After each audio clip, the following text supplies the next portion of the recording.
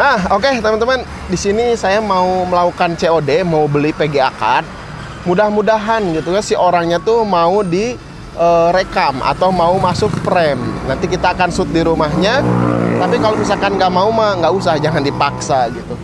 Ini beli PGA GTX 650, tapi harganya murah. Katanya ada minusnya. Ya udah kita nu saja ke rumahnya sekarang. Let's go.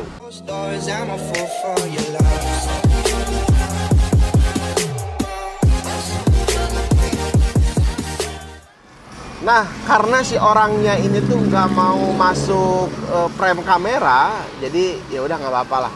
Saya recordnya langsung di luar aja, karena katanya dia nggak mau diekspos, malu, nggak apa-apa lah. Nah, oke okay, teman-teman, akhirnya saya udah uh, mendapatkan PGA cardnya. Wih, mantap banget. PGA cardnya ini teman-teman, bisa lihat, ini masih full set ya, ada dusnya juga tuh Oh, mantap.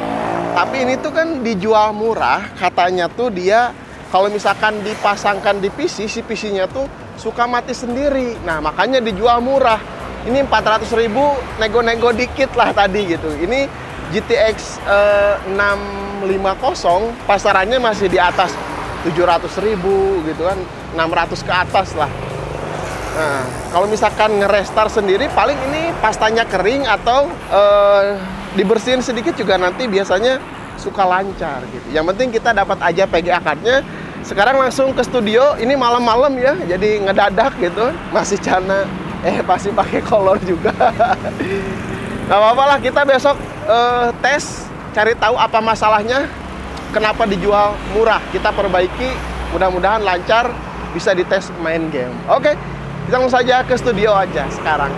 Let's go. Assalamualaikum teman-teman. Nah ini ya ketika saya tes kenapa PGA card ini kadang mati sendiri ketika nempel di motherboard atau di PC-nya ya. Karena suhu PGA-nya ini overheat sampai 90-100 derajat Celcius bahkan ya. PC ini kadang mati sendiri atau ngerestar sendiri. Ya pasti kalau nancap di motherboard yang di dalam casing kecil ini tuh nggak akan terlihat bahwa si fan-nya ini muter atau enggak. Untung saya cek di luar casing. Jadi ketahuan fan-nya ini tuh mati yang berakibat overheat ya, mati sendiri si PC-nya. Tapi berhubung ini darurat ya dan cari fan VGA itu yang apalagi yang sama kayak gini ya susah gitu.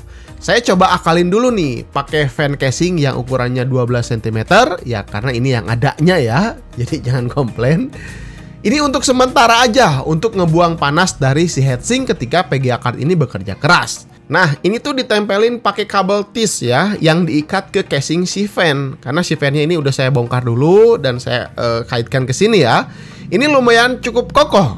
Kalau untuk hasilnya kita akan langsung saja tes ya, tes game dan tes benchmark. Di awal pengujian tadi ya main game GTA 5 beberapa menit PC-nya langsung mati sendiri. Bagaimana sekarang? Kita akan langsung saja tes setelah pakai fan modifikasi ini. Let's go.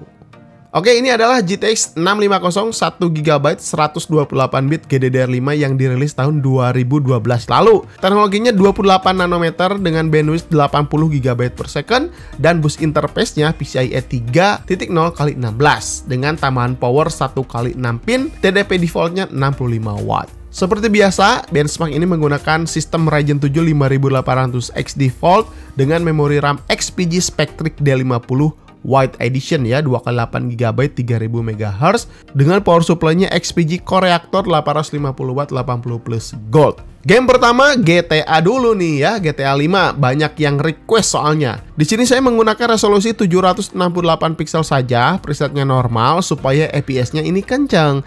Dan memang terbukti ya, average-nya ini mendapatkan 89 FPS. Ya, oke, mantap ya. Terus pasti banyak yang nanya, Bang, ini bisa nggak dipakai untuk GTA Roleplay? Jawabannya tentu bisa. Lancar dijamin ya, dengan settingan kayak gini. Oh iya nih, kalian bisa lihat ya suhu GPU-nya. Nah, ini pakai fan modifikasi ya. Adem banget ya, cuma 64 derajat Celcius saja. Game kedua ada Battlefield 3. Ini game berat pada zaman 2011 lalu ya. Tapi dengan GTX 650 ini masih sanggup di resolusi 1080p preset medium. FPS kalian bisa lihat ya di rata-rata 60 FPS saat frame penuh dengan ledakan. Ya kayak gini banyak ledakannya game-game ini tuh. Si FPS-nya juga ini terjaga dropnya ya. Uh, masih di sekitar 50 FPS ini masih lancar aman enak dimainkan.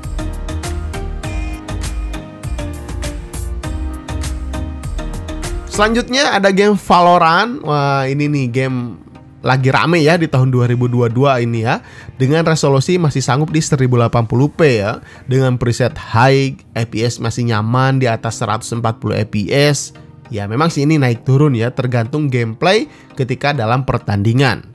Dipakai latihan juga kalau mau ikutan turnamen e-sport si Valorant ini juga masih playable.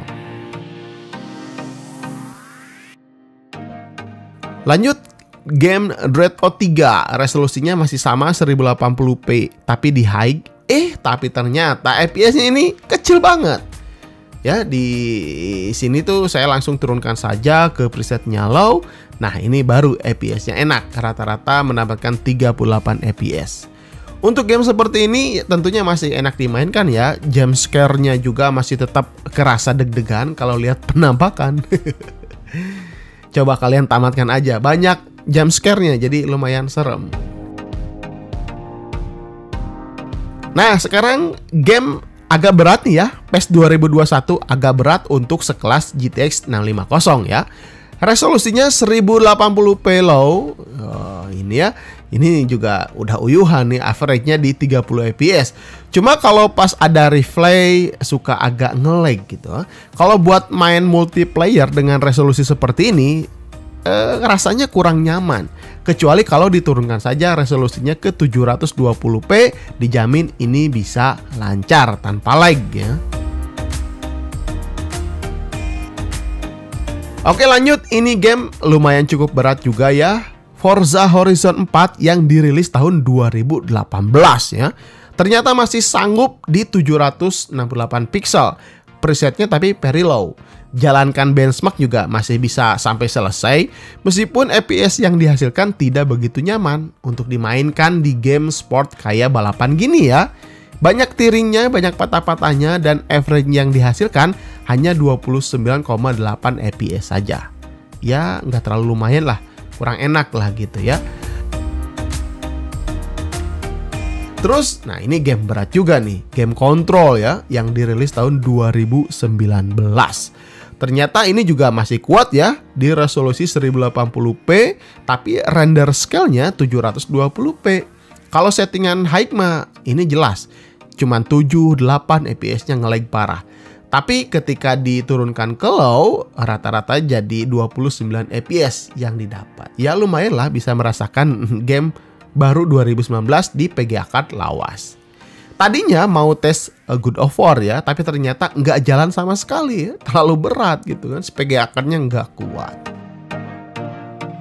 Ini saya bonus aja nih pengetesan atau benchmark sintetis ya 3D Mark Fire Strike. Ini sangat kewalahan sekali ya. Kalian bisa lihat FPS-nya ini terlihat patah-patah sekali gitu ya ketika si benchmarknya berjalan. Skor GPU hanya mendapatkan 2306 saja. Tapi untuk uh, suhu GPU-nya karena modifikasi dari fan VGA-nya ternyata masih bisa mengademkan si VGA card GTX 650 ini hanya 70 derajat Celcius saja. Nah, oke okay, teman-teman, jadi uh, kesimpulan yang saya dapat terhadap PGA card yang kemarin saya beli, ini memang terjadi overheat karena si fan PGA cardnya ini nggak jalan ya. Nah, ada dua penyebab biasanya ketika si fan PGA card ini nggak jalan. Yang pertama, memang si fannya ini rusak. Tapi biasanya fan-fan seperti ini jarang rusak, kecuali kalau misalkan uh, putus uh, kabelnya atau uh, rusak secara fisik gitu kan. Tapi kan kalau misalnya dilihat e, di sini fisiknya tuh bagus, nggak rusak. Terus yang keduanya bisa jadi dari soket dari si motherboardnya ya, motherboard PGA card ini. Nah ini bisa jadi si fan ini tuh jadi nggak dapat arus dan akhirnya si fan ini nggak berputar. Itu kenapa bisa terjadi? Pertama ya memang ini umurnya aja gitu kan udah eh, lama banget ya 2012 ini hampir 10 tahun jadi wajar kalau si PGA card ini mengalami beberapa kerusakan gitu ya. Terus eh, bagaimana kalau misalkan eh, diakalin seperti tadi ya, dipasangkan si fan seperti ini? Menurut saya performa si fan ini untuk bisa mendinginkan PGA card bisa dibilang cukup normal dan si PGA card ini juga tetap bisa dimainkan secara ya biasa-biasa aja normal gitu karena ketika tadi pengujian main game rata-rata ya 60 70 itu suhu yang cukup normal ya nggak terlalu panas nggak terlalu dingin gitu Terus kalau misalkan dipasangkan atau dimodif seperti ini apakah aman untuk jangka panjang? Pengalaman saya pribadi ya, ini bakalan aman jangka panjang ya.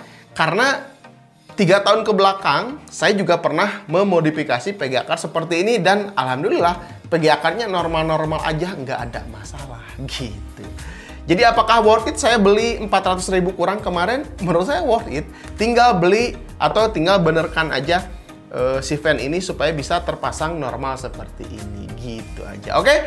Mungkin gitu aja. Kalau misalnya kalian punya saran atau punya kritik, silahkan tinggalkan saja di kolom komentar. Kalau kalian mau cari pegakat bekas, nanti saya akan simpen linknya di deskripsi. Kalian boleh kepo-kepoin. Sampai ketemu di video berikutnya. Saya Randy Adha, sekilas IT. Assalamualaikum warahmatullahi wabarakatuh. Salam ったのに。